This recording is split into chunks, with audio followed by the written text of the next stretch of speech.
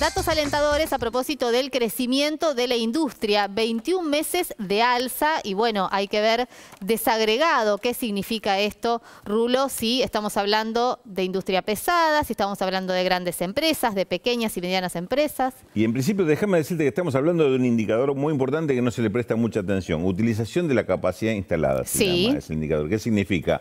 De una empresa con capacidad para producir, por ejemplo, con sus máquinas, durante determinada cantidad de tiempo eh, de la semana o del día, ¿cuánto de esto está utilizando? Eh, para mí es un indicador muy bueno Sí, porque claro. te marca el nivel de trabajo con eh, respecto a las posibilidades que tiene esa industria. Por Sí. ejemplo, si una industria automotriz pasa de dos turnos a un turno, quiere decir que está bajando el uso de la capacidad instalada a la mitad. Bueno, Claro. ahora, dicho esto, para, para saber de qué estamos hablando. Sí. El indicador para el mes de noviembre que dio el INDEC es del 68,9%, ya muy cerquita del 70%. Es un número interesante, es una recuperación con respecto a años anteriores. Sí. Y para tener un nivel así hay que irse hasta el 2017, es decir, antes de las dos crisis, la crisis de, macrista, sí, claro. Con el tema de la recesión 18, 2018 y 19 y la crisis de la pandemia de Exacto. 2020 y 2020. 21, o, sí, 2020 y parte de 2021. Este, este dato en ese sentido es bueno. Ahora, ¿qué pasa cuando vamos a sector por sector? Sí. Lo que te vas a encontrar es que hay, por ejemplo, tres sectores que están en un nivel buenísimo, 79, 80 y 89%. Es casi perfecto. Sí, claro.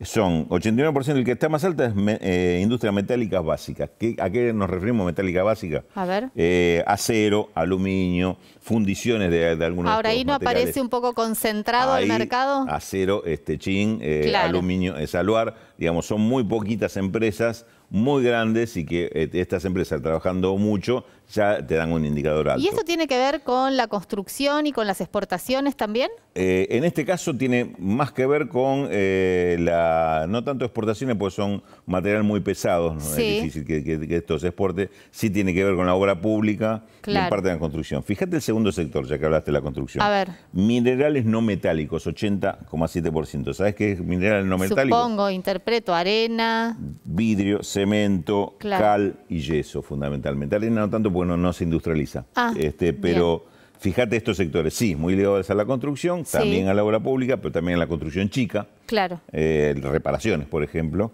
Están en, estos son los que están en el 80%. El tercero, 79%, fíjate vos el nivel de concentración también, refinación de petróleo. Por Claro. eso, únicamente la industria petrolera grande. Es decir, estos tres sectores son los que tiran para arriba el índice. Son tres sectores claramente de eh, industria concentrada.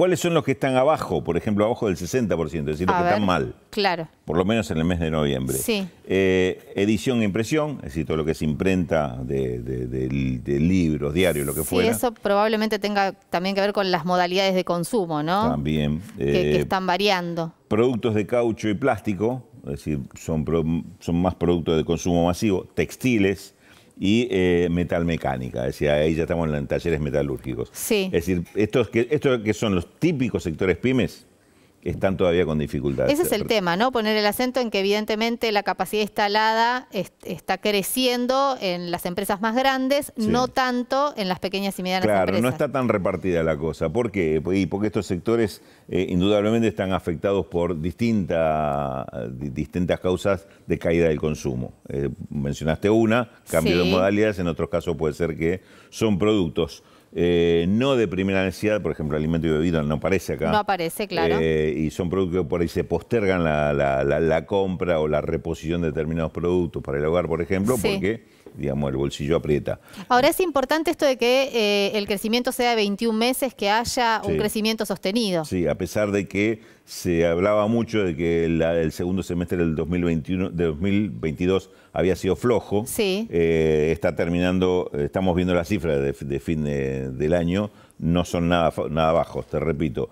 Inclusive, 2000 recordemos, 2021 fue año de muchísima recuperación Claro. después de pandemia. Crecimiento de 10% de la economía.